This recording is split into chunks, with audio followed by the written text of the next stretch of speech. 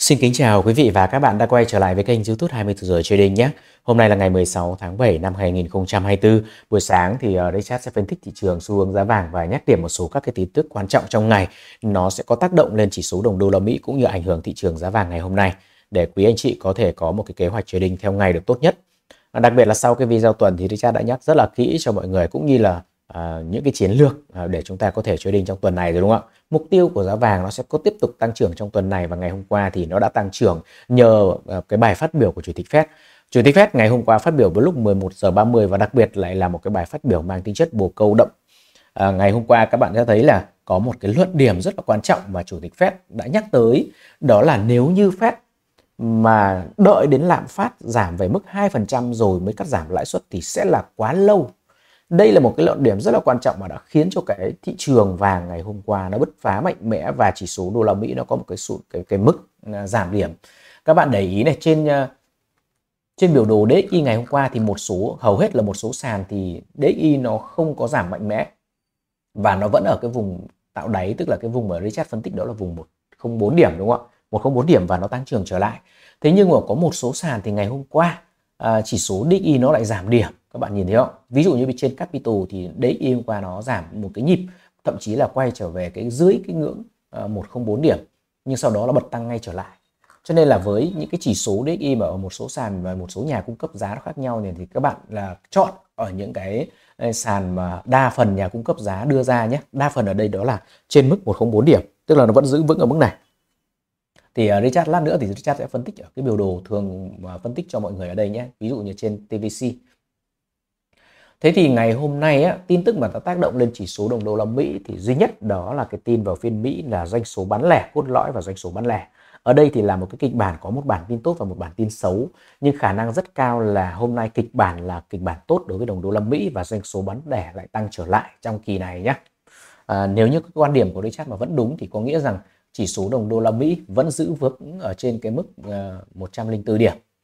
Và Richard đã phân tích trong cái video tuần rằng nếu như mà ngày thứ hai chỉ số đô la Mỹ nó không gáp thủng qua cái vùng 104 điểm thì rất có thể chỉ số đô la Mỹ nó có cơ hội tăng trưởng trở lại ngay từ cái vùng hỗ trợ này đúng không ạ? Và mục tiêu quay trở lại cái vùng 104.5 104.6 điểm trên này thì khả năng rất cao là phiên ngày hôm nay chỉ số đô la Mỹ nó sẽ đạt lên được cái ngưỡng này, tức là nó sẽ là một cái phiên hồi phục nếu như là một cái phiên hồi phục của chỉ số đồng đô la Mỹ ngày hôm nay và cái quan điểm của Richard chia sẻ vẫn tiếp tục đúng cái xu hướng này, thì các bạn có thể canh bán xuống đối với các cặp tiền đuôi u ngày hôm nay.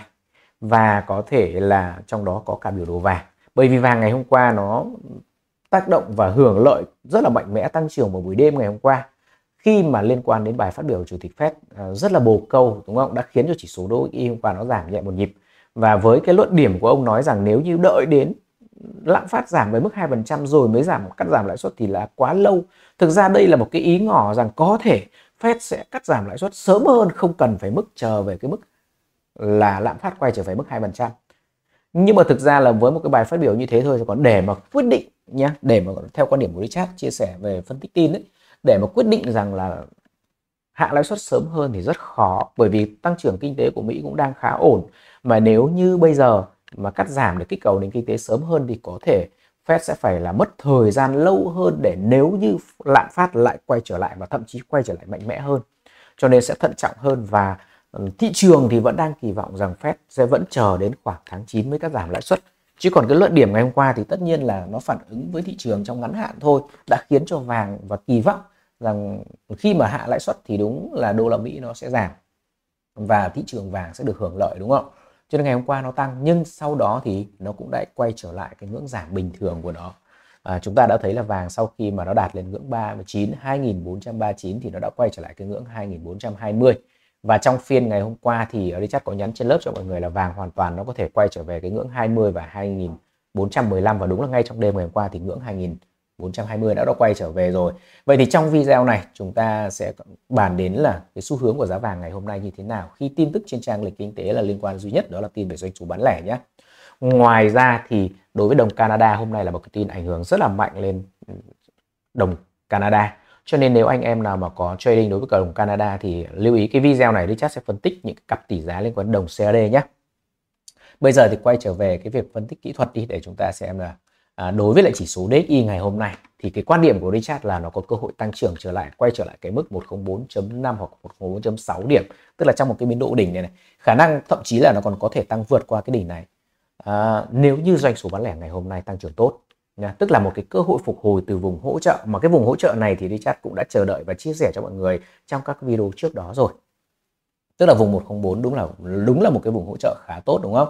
Ờ, nó sập mạnh xuống dưới đây trong một cái đà giảm rất là mạnh mẽ của chỉ số nhưng mà nó dừng chân ngay lập tức đúng chưa vậy thì ờ, các bạn sẽ giao dịch như thế nào trong phiên ngày hôm nay? Đối với chỉ số DXY thì cơ hội phục hồi à, và nó sẽ có thể hồi mạnh hơn cái ngưỡng 104.6 điểm nếu như doanh số bản nghe bán lẻ ngày hôm nay tăng trưởng mạnh trở lại nhé các bạn nhé Vậy thì với giá vàng ngày hôm nay, các bạn ưu tiên tìm cơ hội bán xuống cho Richard. Mặc dù là ngày hôm qua nó tăng trưởng rất là mạnh nhưng sau khi đạt về cái ngưỡng à, 2.439 đô la Mỹ một ao thì nó đã giảm mạnh trở lại rồi. Trên khung H1 thì nó đang có những cái cấu trúc giảm điều chỉnh và ở đây duy nhất là hỗ trợ trong phiên Á sáng ngày hôm nay các bạn lưu ý hỗ trợ cho Richard là quanh mốc 2410 2412 nhé. Đấy là một cái vùng có khả năng sẽ giữ chân với chỉ số à, với cái biểu đồ giá vàng và nếu như chúng ta mua thì hãy quan sát mức này. Ngay phiên giao dịch ngày hôm qua, thứ hai đầu tuần, thì Richard có nhắc đến trong video là nếu như giá vàng không có gáp biến động mạnh mà nó vẫn loanh quanh ở cái ngưỡng dưới ngưỡng 2420 2418 thì nó có cơ hội giảm quay trở về ngưỡng 2400 các bạn đã thấy là ngày phiên ngày hôm qua đi Richard đã cho mọi người thấy rằng đúng là cái chỉ số à cái biểu đồ giá vàng nó đã quay trở về ngưỡng 2400 đúng không ạ? Hôm qua Richard đã cho mọi người một cái chiến lược bán đó là 12 đến 2415 ngay sau khi cái vùng bán của chúng ta là ở ngưỡng 2409 đến 2411 mà đây chắc để cát SL13 Độ ngay sau khi cắn SL13 thì đây chắc đã thấy là một cái cấu trúc giảm trở lại và cho mọi người bán gỡ kèo ngay lập tức, đúng không? Bán quay trở về cái ngưỡng 2402 và các bạn thấy là cái chiến lược để TP hơn 100 pip rất là ngọt trong cái nhịp này. Nhịp thứ hai và cũng chính là cái chiến lược trên Telegram mà Zchat để lại sau khi kết thúc Zoom đó là chúng ta sẽ mua giải từ biên độ vùng 2406 cho đến 2402 SL 2398 TP mục tiêu cao nhất của chúng ta, cái nhịp đấy Richard đưa cho mọi người đó là TP2 là mức gì? 2415 và các bạn thấy là nó TP cũng rất là ngọt ngào rồi. Và một cái chiến lược tiếp thứ ba của Richard ngày hôm qua cho mọi người là bán trong biên độ 2419 đến 2421 cái vùng giá này thì đã TP 2415 rất là đẹp. Và chiến lược fail của chúng ta chính là cái chiến lược cuối cùng trong ngày đó là bán về khi cận kề đến cả cái bản tin nữa, bán ở cái ngưỡng 2419 thậm chí là chúng ta có thể vào sớm hơn ở 16 18 đúng không ạ? Và SL tuyệt đối ở 26 các bạn hạ vôn đi theo cái chiến lược này. Nó có một cái phản ứng rất là ngọt ngào là khi nó quay trở về test cái ngưỡng 23 24 và nó quay trở về ngưỡng 20 tất nhiên là trong những cái nhịp sóng đấy thì bản thân Richard là những người lướt sóng nhanh thì vẫn ra bình thường. Nhưng cái chiến lược cuối cùng mình cũng bị SL đó là SL26 và đi chắc có nhắc mọi người là những cái chiến lược về phiên Mỹ chúng ta không ham hố và luôn hạ vốn nếu không ạ? Tất nhiên là ngày hôm qua chúng ta vẫn còn được lợi nhuận cực kỳ tốt. Thế nhưng cái việc mà chúng ta quản trị SL khiến cho à, đã giúp cho mọi người thì giữ được lợi nhuận rất là tốt. Cho nếu như các bạn mà đúng là buông tay buông SL ngày hôm qua thì đúng là một cái chuyện là một cái rủi ro cực kỳ lớn. Và xin chúc mừng cả nhà là ngày hôm qua đã giữ được các cái chiến lược target tốt này. Đặc biệt là ngày hôm nay thì các bạn có cơ hội hơn rất là nhiều khi mà giá vàng nó sau bài phát biểu của chủ tịch Fed thì hôm nay nó có thể có cơ hội giảm trở lại. Bởi vì trên biểu đồ của chúng ta hôm qua nó có những cái cây nến con rơi và cây đảo chiều rất là mạnh mẽ ở đây. Thì chính vì lý do đó trên ngày hôm nay thì các bạn có cơ hội à, đánh sideways được bình thường nhé. Vẫn có những cái cơ hội bán xuống và mua lên. À, sau cái khung giờ 8 rưỡi thì Richard vẫn thực chiến cùng với cả nhà bình thường. Nhưng hãy xem cái video của Richard để nếu như các anh chị em không có vào thực chiến được thì vẫn có định hướng cho mình một cái biên độ giao dịch. Tức là sau một cái cấu trúc tạo đỉnh ngày hôm qua đỉnh mới nha, FOMO bởi vì sao khi mà nó bứt phá qua cái đường kênh như này ở ờ, đây chắc có nói là nếu mà nó vượt qua được cái ngưỡng 26 thì khả năng cái vùng 3x nó tăng trưởng lên và liên quan đến bài phát biểu của Fed đúng không? Một cái bài phát biểu bồ câu như thế cho nên là vàng nó bứt là cái chắc chắn rồi. Và sau khi đạt đến ngưỡng này thì các bạn thấy là cái cấu trúc thanh khoản và chốt lời quay trở lại đã khiến ra những cái cây nến con rơi cũng như là cái mẫu nến đảo chiều. Và đây chắc có comment rất là muộn thôi uh, trên ờ, nhóm trading và nhóm lớp của Richard rằng vàng nó có hoàn toàn có cơ hội xuống, quay trở về cái vùng 2420 2415 các bạn đã thấy là chót lướt trong cái buổi đêm ngày hôm qua rất là nhanh, đúng không? Đạt target rất là lớn ở cái nhịp sóng đó, sau đó là chăn nghỉ. Thì ngày hôm nay các bạn nhìn thấy cái cấu trúc này này, canh bán xuống cho chart bán xuống cái đường kênh này nhé cái vùng đường kênh nó sẽ retest gần nhất đó là khu vực 2410 đến 2412 đây là một cái hợp lý khá là đẹp.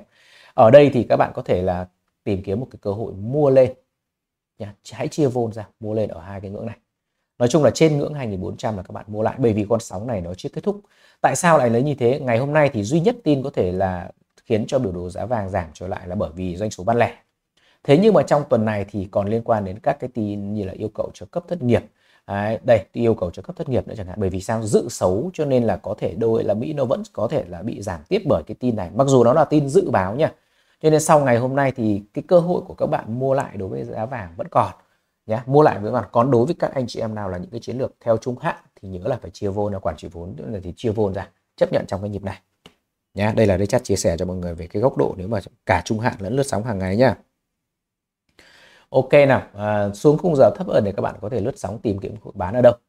Tìm kiếm hội bán thì khả năng là trong phiên Á buổi sáng, các bạn sẽ tìm kiếm một cái cơ hội bán ờ, quanh mốc 26 đến 28 nhé 26 đến 28 nó có thể vòng lên cái ngưỡng này. 28 là cái vùng giá này. Tức là các bạn có thể dựng ra Fibonacci xem rằng cái nhịp mà sóng của ngày hôm qua nó sẽ điều chỉnh bao nhiêu phần trăm ấy. Đây, nhịp sóng ngày hôm qua thì nó sâu nhất là từ vùng 24 đi. Để chắc sẽ kể cho mọi người sẽ thấy là từ cái vùng Fibonacci 24 này mà nó sẽ điều chỉnh thì tầm bao nhiêu phần trăm nhé bây giờ thì sau ờ, từ vùng 24 thì nó đã điều chỉnh giảm khoảng khoảng 50% rồi. Vậy thì mục tiêu 61.8 và 76.4 thì có phải đúng là vùng 2415 và sâu hơn nữa chính là ngưỡng 2410 11 đúng không ạ? Thì đây chính là cái vùng giá mà Richard kỳ vọng rằng bán về đây cũng như mua lại từ cái vùng giá này. Đúng chưa? Đúng là 2410 chứ ạ? Thì đây là một cái biên độ nhé. Và bán thì có phải là vùng 26 thì như là quanh cái mốc 38.2 của biên độ sóng này đúng không ạ? À, cao hơn nữa thì nếu như kẻ theo Fibonacci, cái vùng giá mà nó hồi lại là cái biên độ vùng 30 nhé vùng 30 đấy, các bạn có thể chia vôn tìm kiếm một cơ hội bán xuống ở đây. Nó là một cái biên độ khung ngày cho nên hoàn toàn chúng ta có thể chờ đợi được và chia vôn và bán lại được, nếu như đạt được cái ngưỡng này. Và đây chính là cái biên độ từ vùng 10 cho đến vùng 30 biên độ khoảng 200 pip trong phiên Á sang phiên Âu, không phải là trong phiên Mỹ các bạn nhé.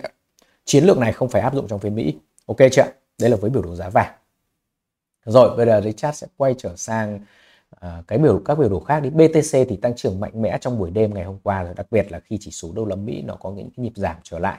Với biểu đồ Bitcoin các bạn thấy là cái cấu trúc để cho các bạn có thể lướt sóng đó là gì? Có một cái cây nến Shooting Star đảo chiều và một cây nến Doji. Ở đây thì trong biên độ vùng 65 các bạn có thể tìm kiếm bán xuống. SL tuyệt đối là có thể là ở vùng 65.5 cho Richard nhé Nói chung là kèo này thì có thể thành công khá là cao đấy bởi vì sau khi tăng trưởng mạnh mẽ nó đang tạo đỉnh và có những cái cấu trúc đảo chiều. Bán quay trở lại cái vùng nó đã bứt phá hoặc bán quay trở lại cái vùng ờ, 63.5 hoặc 63.7. À, trong phiên ngày hôm nay các bạn có thể chia vô nó bán xuống cái ngưỡng này. Đây là với biểu đồ Bitcoin nhá. À, nếu như chúng ta mà có thể bán xuống đối với Bitcoin ngày hôm nay thì kể cả với biểu đồ giá dầu là quay trở về với cái biểu đồ giá dầu đúng là tuần trước Richard đã khuyên mọi người là nếu như chúng ta cờ lâu thì quay trở lại cái vùng 83 hoặc 83x chúng ta bán, đúng không? Đây, các bạn sẽ thấy biểu đồ giá dầu này. Nó đã quay trở lại được cái ngưỡng 81x và đúng là nó sideways, chúng ta cờ lâu là cũng đúng rồi. Bởi vì là cái chiến lược trung hạn nhưng mà chúng ta vào target được mấy trăm pip từ vùng này trở xuống mà không chốt thì nó vẫn cứ nằm ở đấy thôi, đúng không? Nó rất là phí cái cơ hội của chúng ta đi. Sau khi mà đi chạm thoát được cái vùng giá 80x này ra Bây giờ nhé với giá dầu thì vẫn đi theo cái quan điểm của Richard là quay trở lại cái ngưỡng 83x thì chúng ta bán xuống. Nó sau khi cờ lâu vào tuần trước thì nó có, có mức đạt quay trở lại là cái ngưỡng 82.5. Đúng không ạ? Thực ra là cái ngưỡng này thì cũng không phải là một cái điểm bán entry đẹp đâu. Trong tuần này chúng ta vẫn còn cơ hội nha. Và giá dầu hoàn toàn nó có thể quay trở lại cái retest cái khu vực 83.5 hoặc 84 đây. Các bạn kiên nhẫn chờ đợi trong cái vùng này chúng ta đánh xuống. Nói chung là cái điểm cái vùng giá này ấy, và cái vùng hợp lưu của khung D chúng ta chỉ đánh xuống chứ chưa mua được nhé chưa mua được. Bởi vì vừa rồi đây chúng ta mua từ vùng 72 73 rồi. Bây giờ mà mua cái vùng à, giá 8x này thì chúng ta bị dở mất, đúng không? Chiến lược nó sẽ không hoàn hảo.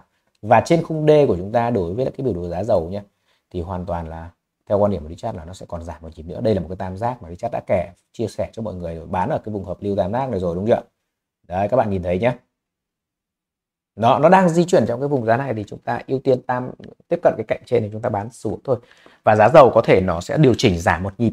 Cái giảm nhịp này chính là cơ hội cho lạm phát à, điều chỉnh sâu hơn và chính là cơ hội cho tất cả các quốc gia mà đang à, muốn hạ cái lãi suất của mình để kích cầu nền kinh tế sẽ thực thi được cái chính sách của mình. Cho nên giá dầu theo quan điểm của Richard là nó sẽ có những cái nhịp điều chỉnh và giảm tiếp. Bây giờ quay trở về những cái biểu đồ về những cái cặp tỷ giá liên quan. Hôm qua thì trong thực chiến có những bạn đã hỏi đến cặp tỷ giá EU thì Richard có nói là nếu như muốn bán thì quay trở về cái ngưỡng là một 1.092 thì mới bán được. Thì các bạn đã thấy là đúng là hôm qua nó quay trở về ngưỡng 1092 mà nếu các bạn bán ở cái ngưỡng đấy thì có ok đúng không? Đây các bạn nhìn thấy là uh, ngưỡng 1092 chính là cái ngưỡng đỉnh của ngày hôm qua luôn. Và các bạn bán thì thành công. Ít nhất là bây giờ thì nó cũng có vài chục pip và điểm entry cực kỳ nét. Khả năng là cái vùng đấy nếu các bạn mà bán được mục tiêu của Richard phân tích cho mọi người là nó quay trở về cái ngưỡng gì? 1.086 đúng không? Và sâu hơn là cái ngưỡng 1.082 83 dưới này thì nếu mà đi theo cái mục tiêu này thì các bạn có thể vẫn giữ cái chiến lược này ngày hôm nay. Chưa kể rằng là Richard đã đưa ra một cái quan điểm là khả năng hôm nay các cặp tiền đuôi u các bạn có thể bán xuống, đúng không? Vì chỉ số đô la Mỹ nó có thể hồi tăng trở lại. Hiện tại các bạn thấy thì ngay trong phiên Á thôi, nó vẫn đang là những cái lực tăng và những cái lên rất giảm. Cho nên các bạn nào mà đã chi và theo cái chiến lược của Richard đang có lời rồi thì tự tin để mà giữ thôi. Còn nếu muốn lướt sóng nhanh đối với EU ấy 30 pip là một cái chiến lược quá ok rồi đấy. Không phải là không đâu, vì vì cái điểm entry của chúng ta quá nét. Đúng chưa với EU nhá đối với EU ngày hôm nay các bạn tìm kiếm cơ hội bán xuống. Mà nhớ này áp dụng trong phiên Á với sang phiên Âu chủ đấy không áp dụng trong phiên Mỹ nha. Bởi vì phiên Mỹ nó còn liên quan đến tin doanh số bán lẻ và doanh số bán lẻ thì là một cái tin dự báo thôi chứ còn chưa ra cụ thể. Cho nên là chị giác khuyến khích cho mọi người ở đây nếu như chúng ta có trading ấy thì nên nhớ rằng các cái chiến lược này áp dụng trong phiên Á với phiên Âu. À, đối với cặp tiền tỷ giá GBP USD cũng thế ngày hôm nay các bạn có thể tìm kiếm một cơ hội bán xuống các bạn có nhớ là ngày hôm qua có Richard có phân tích là nếu như EU có thể tìm kiếm một cơ hội bán đẹp hơn thì với GBP thì nó chưa đạt bởi vì sao? Cái đường kênh neckline nó còn có thể là còn tăng trưởng tiếp, đúng không ạ? Các bạn nhìn thấy đường kênh neckline mà Richard đã chia sẻ, đúng không? Đây này, nó có thể còn tăng trưởng tiếp cho nên là nó chưa bán được và chúng ta chờ đợi ở những cái vùng giá cao hơn ngày hôm nay đối với GBP thì các bạn có thể lướt sóng nhanh được thôi, chứ còn để mà nói là để mà có điểm bán đẹp thì chưa có. Nếu như hôm nay bán xuống, các bạn phải chấp nhận DCA kể cả sau vùng giá 1.SL nếu như các bạn để nhé gọi là nếu mà lướt sóng các bạn không để dài đâu. SL thì sau cái vùng giá 1.305 sau vùng này. Vậy thì các bạn có thể entry từ 1.300 nhé. Entry thì chờ 1.30 hoặc là biên độ cách khoảng 2 30 pip các bạn bán được nữa là 303 chẳng hạn, bán xuống một nhịp. Kỳ vọng nó quay trở về cái vùng giá nếu như đẹp mà mạnh mẽ thì có thể quay trở về mực 1.290 tức là biên độ khoảng 100 đến hơn 100 pip target trong ngày hôm nay đấy. Nếu như theo khung H4 nha các bạn nha đây là với cặp à, tỷ giá ờ, GBP USD thế còn những đặc biệt những cái cặp tỷ giá mà liên quan đến CAD ngày hôm nay bởi vì tin doanh số bán lẻ tác động lên đồng Canada hôm nay sẽ là những cái tin tác động rất là mạnh và có thể khiến cho biểu đồ CAD biến động mạnh mẽ. À, đối với lại cái biểu đồ CAD thì các bạn thấy là nó đã bứt phá qua cái vùng đỉnh ở cái khu vực vùng hỗ trợ này rồi đúng không ạ? Tức đây là một cái vùng giá tranh chấp để mà nó đẩy hồi lên sau nhiễu rất là nhiều lần. Ờ, mà Richard đã phân tích rằng khả năng là nó sẽ bứt phá và nó giảm sâu tiếp như cái mức giảm thì các bạn thấy là nó về được mức 1.358 à, 1.358 và nếu như 20 pip nữa thôi là có thể là nó sẽ đạt được cái vùng mục tiêu mà Richard kỳ vọng là 2356 tức là nó cấu trúc thanh khoản. Bây giờ thì ưu tiên cho ngày hôm nay là tìm kiếm một cái cơ hội vẫn là đánh xuống đối với cái cặp tiền này nha đánh xuống cặp này nếu như CAD ngày hôm nay nó có cơ hội tăng trưởng trở lại ngược so với tin trên trang lịch kinh tế tại vì sao có thể tăng trưởng ngược trở lại bởi vì là vừa rồi đây à, cái giá dầu nó bứt phá nó cũng tăng trưởng khá mạnh trên khả năng rất cao là CPI nó cũng tăng trưởng trở lại hiểu không? CPI mà ta tăng trưởng trở lại đó là cái sự đồng phá. ấy. bởi vì một số các cái sản phẩm về năng lượng mà nó tăng trưởng mạnh thì đương nhiên là lạm phát nó cũng tăng trở lại và đấy là khi lạm phát tăng trở lại bởi vì sao bởi vì các cái đánh giá về CPI hoặc CPI nó tăng trưởng, đúng không? Mà khi giá dầu tăng như thế thì khả năng rất cao là CPI tăng trưởng trở lại, chứ không phải là giảm sút sâu như thế này. Tất nhiên là nó có rất nhiều cái chỉ số để đánh giá, nhưng khả năng rất cao là CPI theo tháng chẳng hạn nó sẽ tăng trưởng trở lại. Và đối với đồng CAD thì cơ hội ngày hôm nay nó tăng trưởng trở lại để chúng ta bán xuống bởi vì có USD đứng đầu. Mà USD thì khả năng rất cao là hôm nay hồi phục, đúng không? Có phải là khi USD hồi phục thì chính là cái cơ hội cho đồng CAD tăng trưởng, đúng không? Và chúng ta bán là chờ bán theo xu hướng bán ở khu vực đường kênh các bạn nhé. Còn mua lên ngày hôm nay có điểm mua mua trên cái vùng hỗ trợ này. Nếu như vì một lý do nào đó nó đạp xuống cái vùng này, các bạn mua lên nha chỉ số DXY đang đang được hỗ trợ bởi vùng 104 điểm, đúng không? Chưa kể rằng là cái vùng hỗ trợ này là cái vùng hỗ trợ khá tốt của biểu đồ CAD USD CAD trên khung giờ H4 cũng như là khung D nó có một cái đáy hỗ trợ rất là đẹp. Cho nên các bạn hoàn toàn có thể tìm kiếm một cơ hội mua nếu như tiếp cận vùng 1.361 361x ở đây. Và trong trường hợp mà nó tăng mạnh mẽ luôn hoặc là nó đẩy giá lên cái vùng vùng đỉnh cộng với một cái hợp lưu là cái đường kênh chen ở đây thì các bạn lại tìm kiếm một cơ hội bán xuống cho chat còn vùng giá hiện tại là một cái vùng lửng thửng trong biên độ vùng giữa các bạn ngồi ngoài. Ok chưa ạ? Đấy nhé, các bạn nhớ hai biên độ vùng giá này đối với cặp tỷ giá USD CAD cho chat Ok, có lẽ là cái video ngày hôm nay thì Richard tập trung chính những cái cặp mà có khả năng có triển vọng ngày hôm nay đối với mọi người và đặc biệt là cái sản phẩm chính mà chúng ta tập trung chính là vàng. Thì à, Richard cũng xin kết thúc cái video ở đây nhé và kính chúc tất cả quý vị và các bạn một ngày trading thành công hiệu quả. Sau video này thì chúng ta tiếp tục lịch thực chiến 8 giờ 30 phút sáng trên Zoom của Richard nhé. Còn trên YouTube thì à, có thể là buổi sáng mà Richard làm ấy thì phát trên YouTube thì nó hơi bị trễ một chút hoặc là nó hơi bị lag thì các bạn thông cảm. Có có thể hôm nay thì chat cố gắng khắc phục uh, cái tình trạng này bởi vì các cái phần mềm liên quan đến phần mềm livestream uh, ờ, và cái đường truyền internet. Cho nên là các bạn mong các bạn thông cảm. Còn muốn tương tác tốt nhất vì chat tốt nhất là các bạn đăng ký và nên vào Zoom cùng với đi chat đi. Ok bây giờ thì xin chào và hẹn gặp lại cả nhà.